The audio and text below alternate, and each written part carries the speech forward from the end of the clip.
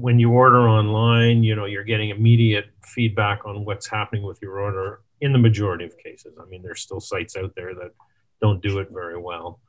Um, and that that is a that is an indication and a reflection on the commitment to the e-com strategy as far as I'm concerned.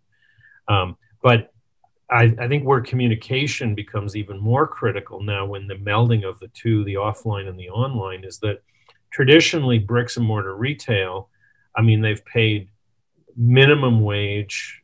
They hire people who are just, I mean, it's just a job. It's it's it's really just a transaction.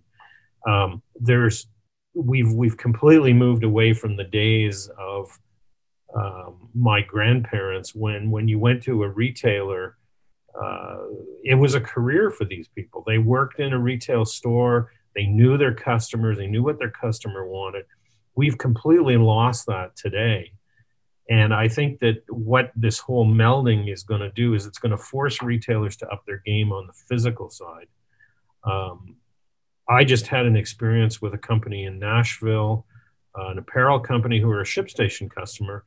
And I mean, online experience that went sideways because of shipping issues, cross border shipping issues. But their customer service went above and beyond what I would have expected. And they have a physical location that they ship out of. So these guys have figured out that you have to service the hell out of your customer. Yeah. Uh, and and you know it was a phenomenal experience. Um, I'm talking about them, so they clearly made me happy. Uh, so you know, I think that this is a challenge that a lot of bricks and mortar retailers are, are going to have to deal with.